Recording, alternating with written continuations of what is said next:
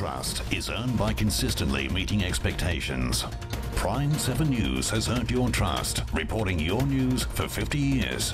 Now, Prime 7 News brings you more of the news you need to know. Join Natalie Forrest with Prime 7 News at 6. And now, Daniel Gibson with Prime 7 News at 6.30, reporting on the day's national news.